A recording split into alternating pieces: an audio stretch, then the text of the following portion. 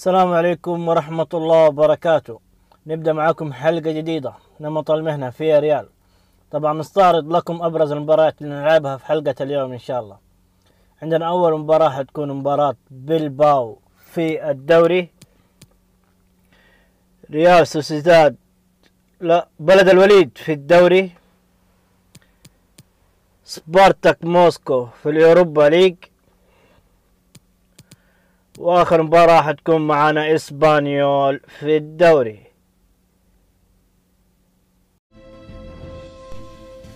أول مباراة معانا ضد أتلتيك بلباو مشاهدينا متابعينا على ملعب أتلتيك بلباو مباراة صعبة. أتلتيك بلباو من الفرق الكويسة اللي تلعب كورة حلوة. اسمع قناة اتلتيك بلباو مباراة حتكون صعبة جدا. فريق جدا مميز عنده. محترفين مميزين. ضد نادي الغواصات الصفراء في ريال أتلتيكو مدريد يعيش فترة سيئة في هذا الموسم، نتائج متراجعة وأداء في الملعب لا يرتقي لطموحات الجماهير، الفريق اللي أصبح قطب بجانب ريال مدريد وبرشلونة في الدوري يعاني بشكل كبير في هذا الموسم، البداية متعثر الفريق اللي ابتعد عن المنافسة على اللقب، بإمكان العودة ما زال هناك عديد من الجولات، لكن عليه أن يقدم أداء مختلف عن ما قدمه في الجولات الماضية. أكيد ستتاح الفرصة لمتابعة فياريال والحكم حسن الانتشار في الملعب. سلام يا الفارو. نحاول نبني هجمة. كرة هدف في هذه سجل! يا سلام. آه والله ضيعنا الهدف الأول. كرة شوف ردة الفعل شوف ال reaction. باكا. من مسافة قريبة. برافو.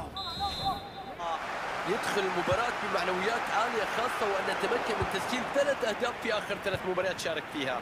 كرة بينية أمامية. سجلنا الهدف الأول في الدقيقة تسعة. سجلنا الهدف الأول عن طريق كارلوس باكا في الدقيقة تسعة. كويس تقدمنا على أتلتيك بلباو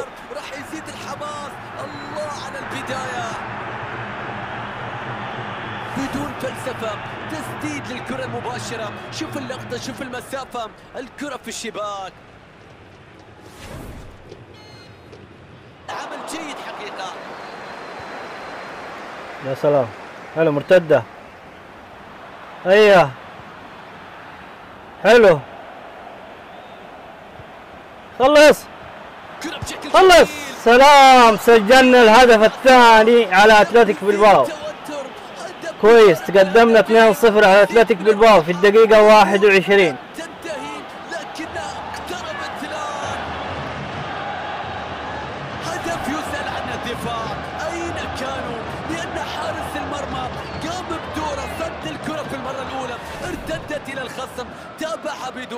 رقابة لا لا لا لا لا لا. المرمى مفتوح أمامه. إيه والله الحارس هذا نكبة يا أخي طلع الكورة لازم تسبب بلنتي. لسه الدقيقة 30 يعني لو سجلوا هدف احتمال يرجع في المباراة. مباراة صعبة. الله يقلعك من حارس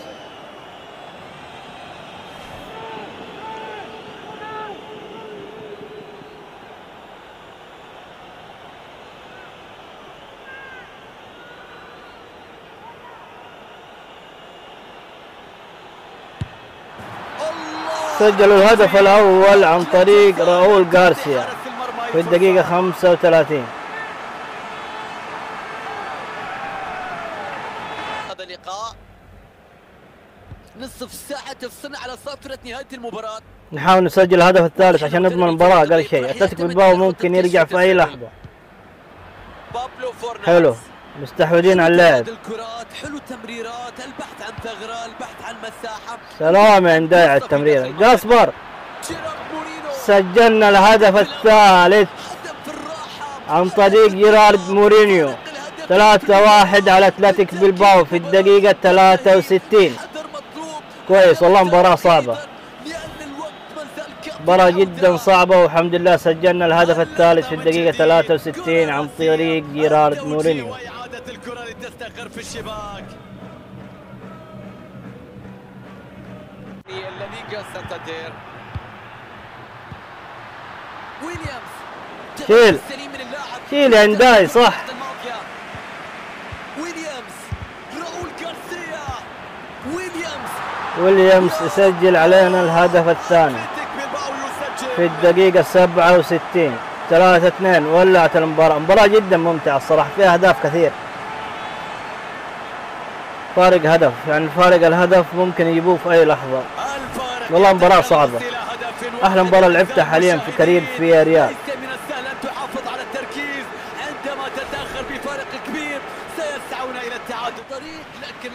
صفر يا حكم. الحمد لله والله مباراة صعبة بغوا يجيبوا التعادل. انتصرنا على أتلتيك بلباو 3 2 في مباراة جدا صعبة وانتصار مهم يعزز صدارتنا في ترتيب الدوري. مباراة جدا صعبة. بس الحمد لله انتصرنا. بالنسبة لأداء كارلوس باكا في مباراة اليوم لعب دور كبير في انتصار فريق اليوم بالهدف اللي سجله.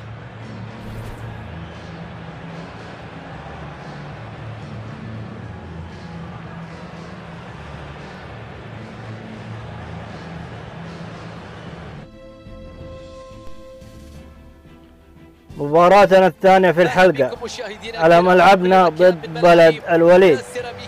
أنقل لكم تحياتي محدثكم فارس عوض للتعليق على هذه المباراة. نحاول أي مباراة تكون في لعب في ملعبنا نحاول ننتصر. عشان ناخذ مركز كويس في نهاية الدوري. هذه المباراة ما يملك خط هجوم قوي بالشكل الكافي وبالتالي هو الأقل تسجيل الأهداف في هذا الموسم. فريق عنده مشاكل هجومية كبيرة في أزمة ثقة عند المهاجمين تجعل حتى الآن صيد سهل للمدافعين. طبعا تعتبر هذه المباراة فرصة لفريق فياريال حتى يظهر بمستواه وبشكل رائع للمشاهدين. الفريق يسير في الطريق الصح تنفذ الضربة الركنية باتجاه وسط ال 18 ضربة جزاء في الدقيقة ثلاثة. تحصلنا على ضربة جزاء في الدقيقة ثلاثة. كويس. نحاول نسجل هدف بدري عشان نضمن المباراة. أتوقع لمسها في يده.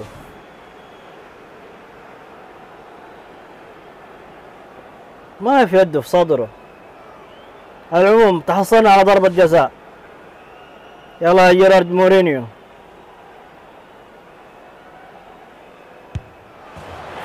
سجلنا الهدف الأول. في الدقيقة أربعة عن طريق جيرارد مورينيو. تقدمنا على ريال بلد الوليد واحد صفر.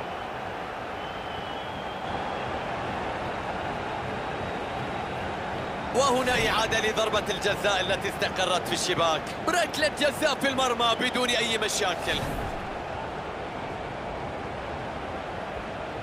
من اللاعبين باتجاه الأمام. حلو تبادل كرات حلو تمريرات البحث عن ثغرة البحث عن مساحة البحث عن فرصة في داخل المنطقة. عرض عرضية تصل في وسط. يا الله على الهدف. هدف أسطوري. هدف عالمي. سجلنا الهدف الثاني. بالصراحة هدف عالمي والله يدرس. الكرة في. الزاوية البعيدة. الهدف. استمتع. اتعلم. 2-0 على بلد الوليد. لا يسجل دائما الله على الكرة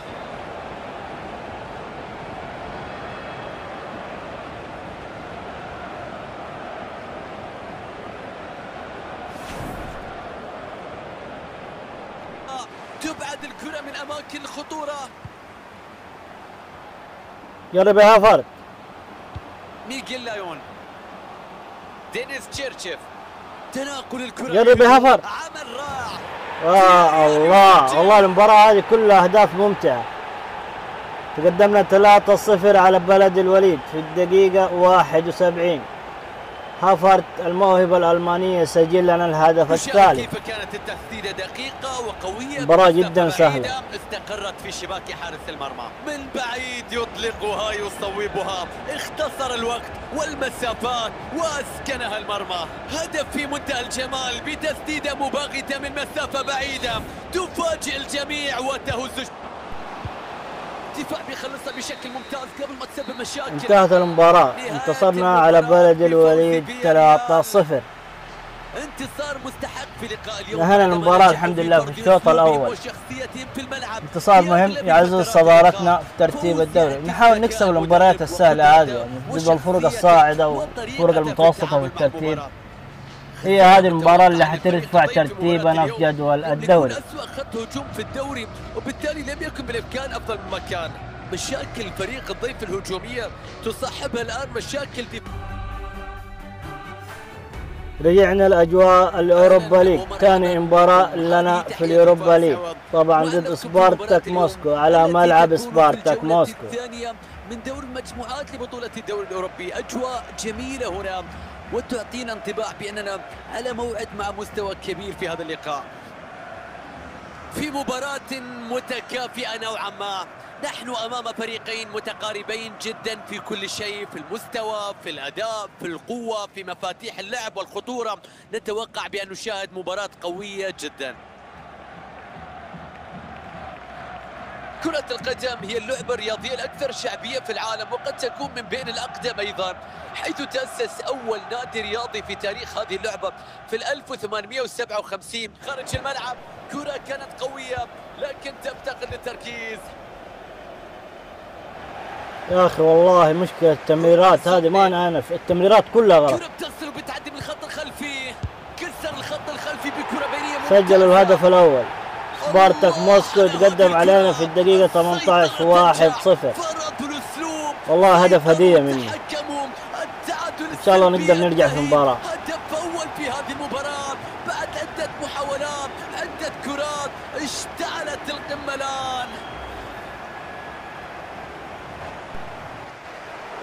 كرة بتتخلص قبل ما توصل روح. الخصم حلوة الكرة البينية خلف الدفاع.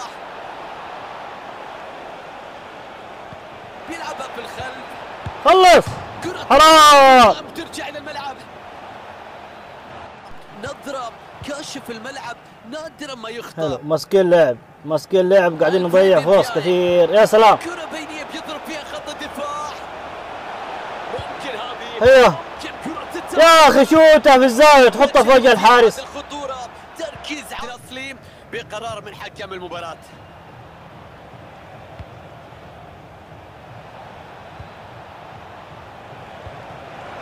والله ضيعنا فرص سجل حارس المرمى بطل ما هي راضي تزبط. هذا التصدي ثلاثة أهداف محققة ضيعناها والله حرام. ممكن تحرك الشباك لكن ردة فعل الساحة الأخير حلو تبادل كرات حلو تبادل سلام. فرصة لوضع الكرة في الشباك العارضة لا لا المباراة هذه ما حقدر أسجل فيها خمس أهداف محققة ضاعت علي ما في حظ. كارلوس باكا يلا يلا يلا أقل شيء تعادل أقل شيء تعادل روح. استغلال جيد للطرف من فياريال. سجل يا باكا. في تسلل وبالتالي الهدف سجلناه طلع. offside ما في حظ ما في حظ. العرضية في وسط المنطقة. كرة بتتخلص من المنطقة. صفرة نهاية اللقاء مشاهدينا وخسارة صعبة جداً. والله حرام انهزم في المباراة. أقل شيء المفروض اطلع فايز 2-1 الفرص اللي شفتوها بس ما في حظ. سجلوا هدف ودافعوا أنا ضيعت فرص كثير. أغلب الفرص كانت في العارضة. سبحان الله ما في حظ. يعني لو إيش أسوي؟ لو ألعب مباراة يوم كامل ما حسجل. يلا نعود في المباراة الجاية إن شاء الله. بشكل جيد بصراحة. وظهر فيها بشكل لافت وقدر يساعد فريقه على تحقيق الفوز. أعتقد بأن سعيد جدا بما قدم في أرضية نرجع لأجواء الدوري. بعد ما انهزمنا في اليوروبا ليج ضد سبارتاك موسكو. طبعا مباراتنا في الدوري حتكون ضد إسبانيول على ملعب إسبانيول. اليوم يلعب النادي الكتالوني إسبانيول ضد نادي الغواصات الصفراء فياريال. أتلتيكو مدريد يعيش فترة سيئة في هذا الموسم، نتائج متراجعة وأداء في الملعب لا يرتقي لطموحات الجماهير، الفريق اللي أصبح قطب من جانب ريال مدريد وبرشلونة في الدوري يعاني بشكل كبير في هذا الموسم، البداية السيئة تبعد الفريق عن المنافسة على الصدارة، حتى الآن الفريق بعيد تماما عن مستواه ولم يدخل لأجواء الموسم، الكاميرات اليوم مركزة مع جيرارد مورينو. لاعب نجم يخطف الأضواء والكل ينتظر ماذا سيقدم. راح تكون آه يا أخي الأوفسايد ما بعيدا عن اللاعبين. كويس حارس طلع. الدفاع الآن. حلو افتكاك.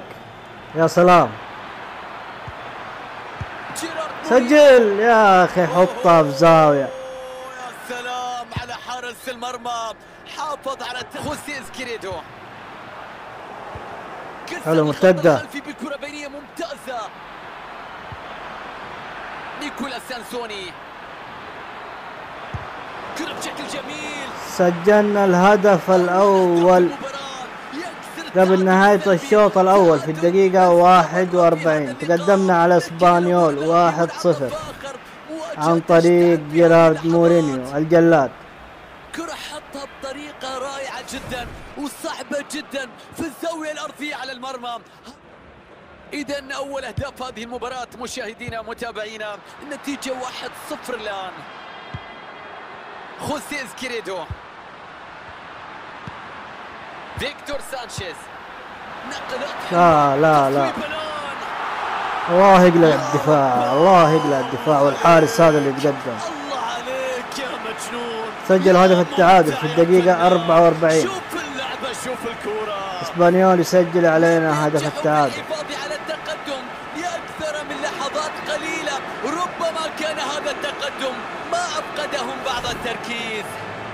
عاد الفريق عادت النتيجة عادت الحظوظ لم يرفعوا الراية البيضاء.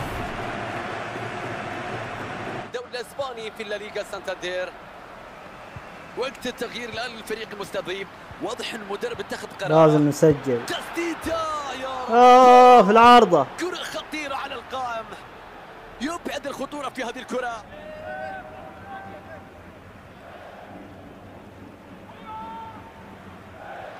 لاتو الويلاتو ميغيل لايون. كالزو ممتاز الكرة البينية من كالزولا سلام عليك. سجلنا الهدف الثاني على إسبانيول. في الدقيقة 64 عن طريق جيرارد مورينو. ما شاء الله اللاعب هذا بدأ يتحسن معاه يسجل أهداف كثير. الجلاد جيرارد مورينو الإسباني يسجل لنا الهدف الثاني. تقدمنا على إسبانيول 2-1 دور الشباك من جديد ثنائية رائعة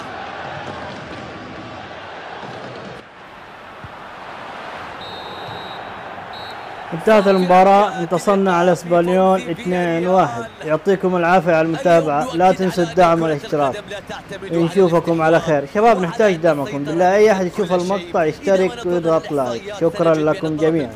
هو الطرف الأقل سيطرة على الكرة. لعب واحدة من أفضل مبارياته في كرة القدم. تتكلم عن أداء خرافي أداء أسطوري اللي شفناه في مباراة اليوم. كان نجم هذه المباراة كان حاسم في تحقيق الفوز. ظهر بشكل جيد كان واضح أيضا عزمة من البداية.